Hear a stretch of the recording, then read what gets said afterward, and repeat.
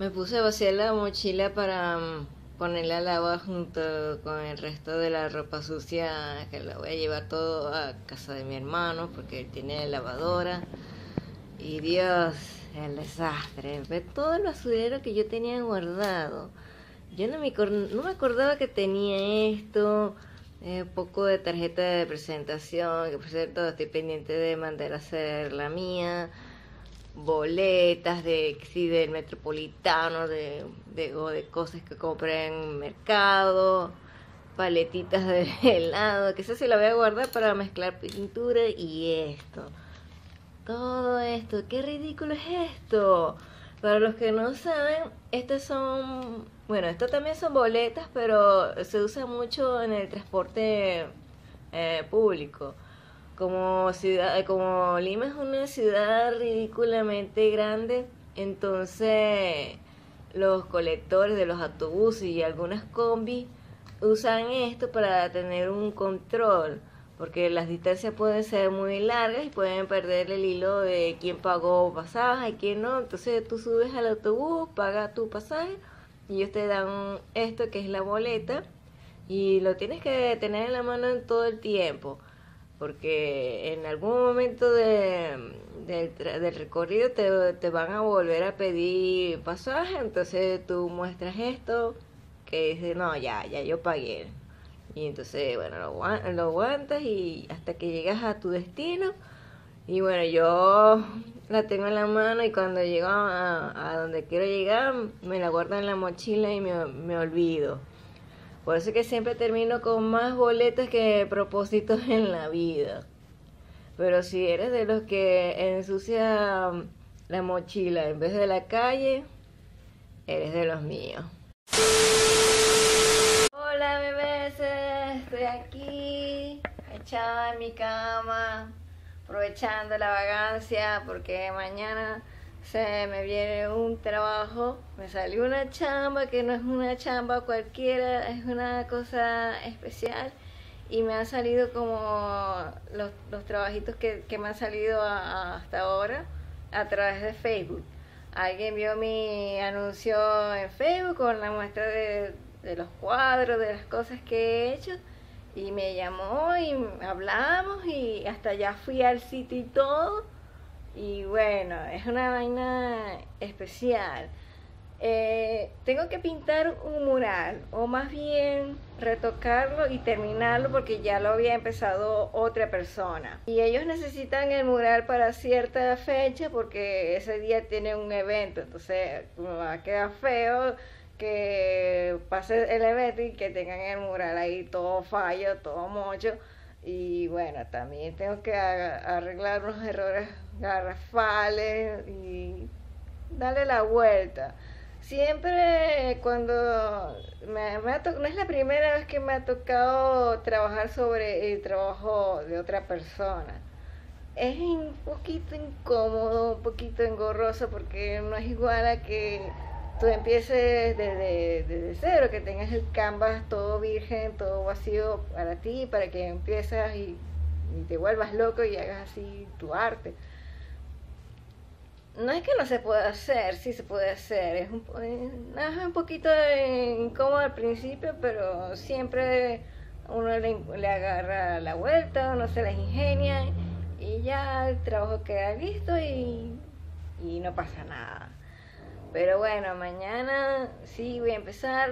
Este, yo les dije bien claro que, que bueno, yo estoy aquí recién llegada, no tengo el equipo de casualidad tengo es esta manguerita y esto que es el este el aerógrafo pero no tengo ni la compresora ni la manguera de presión larga ni ropa para trabajar no tengo nada y de paso el trabajo que eh, en el otro extremo de Lima, o sea, full lejos, entonces tengo que pagar metropolitano todos los días, pero ya me dijeron que eso me lo iban a auspiciar también, aparte de lo que me van a pagar, me van a pagar el, eh, el viaje del metropolitano, me van a brindar las comidas y me voy a tener un ayudante, me, me van a orientar porque es un tema muy peruano y obviamente yo no sé nada de eso, así que voy, en, ese, en ese aspecto voy a, tener, voy a estar un poquito tomada de la mano,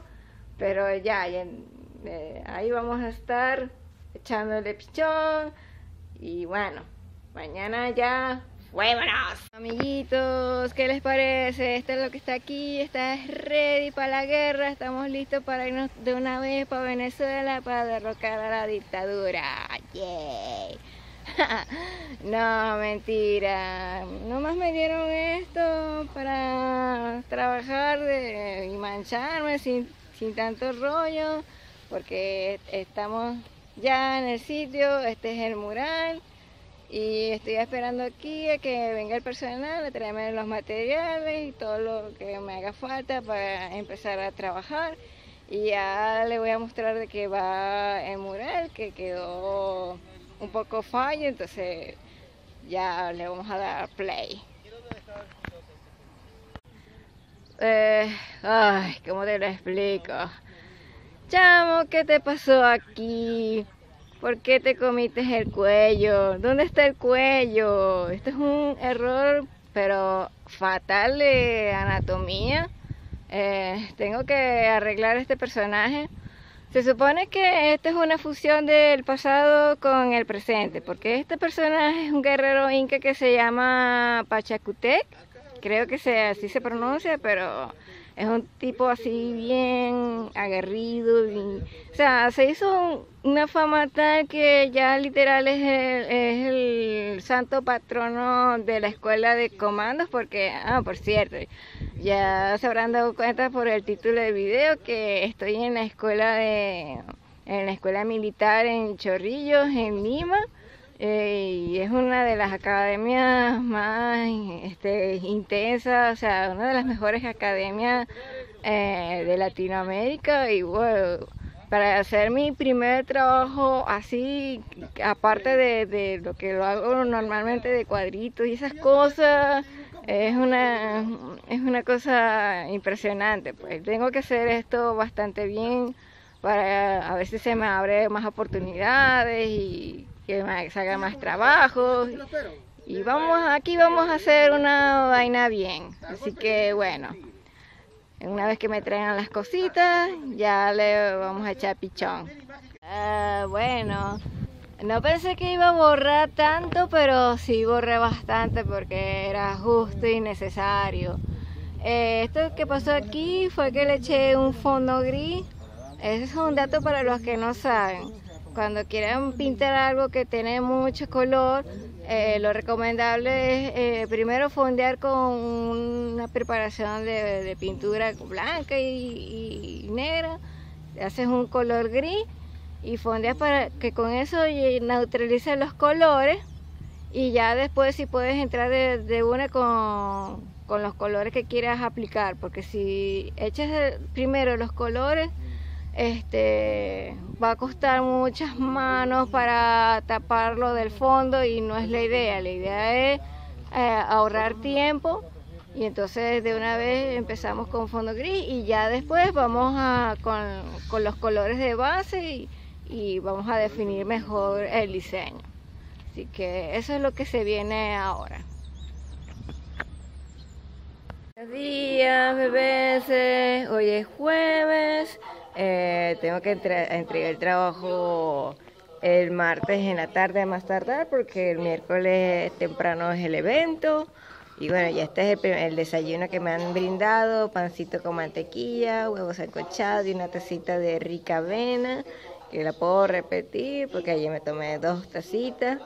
Y chévere, este, desayunar bien, desayunado para estar activo para el día y me siento entusiasmado. Y bueno, a la que se ha armado aquí en Perú porque ya dijeron Fujimori, nada, te, devuelves para la cárcel. Y bueno, hay todo un revuelo con, con ese tema porque lo habían indultado y eso no duró lo que duró un, un chinchorro, o sea, nada. Y dijeron ya no, te devuelves para la cárcel. Pero bueno, voy a desayunar y de vuelta para el mural. No, pues ya está mejorando el enfermo, ya tiene cuello, señoras y señores. Me falta trabajar un poquito más la piel para que, sí, los tonos de piel, para que se vea más cholito, porque este tono clarito fue como que la base. Pues. Porque así estoy empezando, empiezo con un color de base, una base clara, y ya después le dando sus otros colores, los volúmenes, sombreados, los puntos de luz, y así como dice aquí con, la capa, porque esta es la capa, así que tiene mucho pliego. Y bueno, esto aquí, bueno, esto es una fusión como había mencionado antes.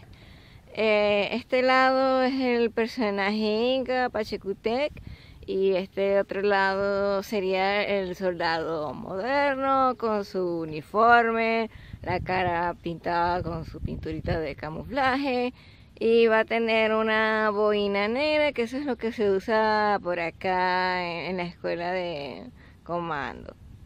Y bueno, eso es lo que vamos a hacer ahora. Voy a trabajar el uniforme, este, voy a trabajar también la melena del Pachacuté, trabajarle más los tonos de piel.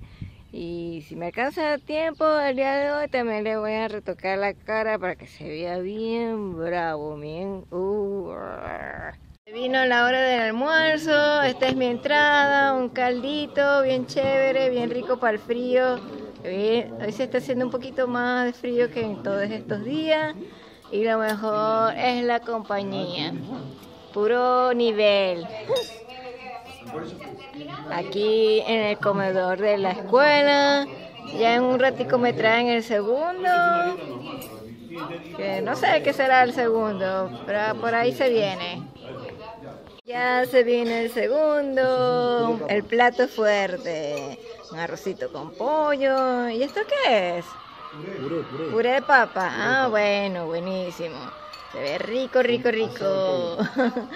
Así que aprovecho todos y te aquí más. Un paréntesis del mural para hacer una pequeña mención especial. Y es esta seña que está aquí, yay. Ella es la encargada de todo el tema de la cocina, del comedor de la escuela de, comando. Sí. Ella, desde el momento que me vio el primer día, me amenazó con ponerme gordita y bonita, así que si yo salgo de esta vaina rodando, ya saben de quién es la culpa. sí, amores. Soy la, soy la señora Gladys, más conocida como la madre de la escuela de comando. porque ella tiene cualquier cantidad de años trabajando acá, entonces aparte de la mamá de los muchachos, entonces ay, ya quedó como la madre. Así es, así es, amor. Y entonces, ¿cómo la tratan acá? ¿La oh, con mucho amor, con mucho amor. Estoy bien agradecida porque me tratan con mucho amor, con mucho ah, cariño. mucho pues, porque si no, vengo y le doy pau pau. Así es, así es, cariño, así es. Bendiciones. Ay, buenísimo. Bueno, y usted cocina muy rico. Me ha, me ha dado de comer muy chévere. sí, yo le he dicho a ella, el tiempo que esté aquí conmigo va a engordar. La voy a hacer, pero que me engorde al 100%. No, vale, muchas gracias a usted y a todo su equipo por tratarme bonito. Chao, mi amor, bendiciones. Dale, pues. bueno, gente, hola. Les presento a Alexander también conocido como el bebé de compota. no, mentira, eso fui yo que me puse a inventar de decirlo así, porque primero en Perú no se dice bebé, sino bebé. La gente como que acentúa el la primera B. Y después no se dice compota, sino, ¿cómo se dice? Este, papilla. este, no me dijiste papeadito. papeadito. En tal caso sería el bebé de papeadito, una cosa así, pero aquí, seguro que aquí no lo dicen así. Bueno, total la cosa es que este pan ha estado conmigo desde el primer día ayudándome con el mural, estaba ahí al pie del cañón, se ha portado bien, ha sido muy colaborador. Y aparte de eso, hemos estamos, estamos aprendiendo uno del otro. ¿no? Él, no, está nada más aprendiendo de mí, sino que yo estoy aprendiendo de él también, porque eh, me enseña un poquito de historia y también me ha hecho unas correcciones. porque yo había dicho que esto es la academia militar y no es así, la academia es otra cosa. Lo que pasa es que en Venezuela tenemos la academia militar, entonces que con, con esa vaina, pero es, es, otra cosa aquí, pues. Entonces, él nos echa, nos echa una explicación porque, ajá, estamos en o sea, en, en, sentido general estamos en la escuela militar. Y, es, y es un terreno bien grande y está separado por secciones. Y estamos, este, precisamente estamos en la escuela de comando. Todo esto está en Chorrillos, que es un distrito que está ubicado en el cono norte de, Lima. Pero ajá, toda esa vaina se dice muy fácil, pero explícame dónde estoy parada. Bueno, a ver, ahorita estamos aquí en Chorrillos, la escuela del ejército, la escuela de comandos. Aquí es la, esta es la mejor escuela de todo el Perú. Y a lo que podemos referirnos es que esta escuela ha tenido una mística tremenda desde sus antepasados, porque desde aquí salieron los que formaron la operación Chavín de Guantar. ¿Qué es la operación de Chavico de Guantar? Porque me dijeron ese que, ah, pero resulta que son, ¿se acuerdan hace muchos años? que hubo una fiesta, hubo un evento en la embajada japonesa aquí en Lima, en Perú. Eso fue noticia internacional. Sí, eso fue noticia. Entonces se vinieron la gente del Sendero Luminoso. Sendero Luminoso. Sí, Sendero Luminoso. Emboscaron la fiesta y se quedaron con, con la gente tomaron rehenes a toda la gente que estaba en, ese evento esa noche y se quedaron pegados con esa pobre gente por unos cuantos meses. Entonces, después sí vinieron otra gente que fue una, fue una vaina de película tipo Hollywood, que es como el SWAT team. Entonces, no, eso fue eh, ese, ese comando que él menciona de Chavín de Water, es así, ¿no? Chavín de Water. Bueno, esa gente fue formada en esta misma escuela. Estoy parada o sea, estoy parada ahorita en la tapa del frasco, ¿yo? O sea, o sea, de aquí lo que podemos resumir a todo eso es que de acá salieron los que lucharon ese mismo día en la operación, los que fueron los que, o sea, en otras operaciones que fueron aparte de Chavín de Guantar, otras operaciones, ellos duraron meses, semanas y no podían y morían rehenes y rehenes. Pero de aquí salieron a esa operación de Chavín de Guantar cuando el tiempo mínimo creo que fue, no sé cuánto fue, pero en, creo que en cinco horas, cuatro horas creo, fue el tiempo más, más rápido, más que, pum, solo murieron dos rehenes y rescataron como 14 rehenes y él fue el tiempo más exitoso de todo, de todo esto. Sí, esto es historia reciente del Perú y bueno, aquí esto está bastante historia también. Eh, bueno, ¿Cómo fue que llegué a parar en este mural? O sea, yo no les he echado el cuento. Como ya le había mencionado, eh, esto me salió por un anuncio de Facebook que yo iba pegando en los grupos y tal. Pero ¿cómo se dio esto realmente? Este, un señor me llama, me contacta, mira, necesitamos un, tenemos problemas con un mural, que no sé qué. yo, ajá, bueno, chévere. Y en el momento, y él me dijo de, una vez, mira, yo soy militar, trabajo en un cartel y tenemos este evento, que no sé qué, no sé qué más, pim pum pam. Pero ah, en ese, en ese momento yo ah, le pregunté su nombre y yo lo estaba llamando con su nombre de pila, ay señor tal, señor tal. Pero después que se me ocurrió, ay, verdad que el pana es militar, no se me ocurrió preguntarle si es teniente, general, ni es chicha ni limonada, yo no sabía que era él hasta que sí después me, enteré que era comandante, entonces eh, bueno cuando me llegué acá y me entrevisté con él el amigo me cayó bien y bueno yo como civil técnicamente no estoy obligada a llamarlo comandante pero el amigo me cayó bastante bien y bueno, por, por, respeto le digo comandante. Entonces ya a partir de ese momento es comandante esto, comandante lo otro. Y bueno, no, él no pudo estar aquí porque al día siguiente se fue a Cusco por cosas de trabajo y me dejó en buenas manos con, con el amigo y, el resto de, de, la gente de la escuela de comando. Pero sí nos estamos comunicando por WhatsApp, ya hemos hablado por teléfono también y él está muy pendiente de lo que está pasando acá. Entonces, saludos, comandante. Aquí estamos activos, trabajando a full con, con el mural. Vamos a estar el fin de semana corrido. Ay, esto me recuerda. Él, este chamo, ingresó a la, a la escuela hace tres meses, en julio, ¿no?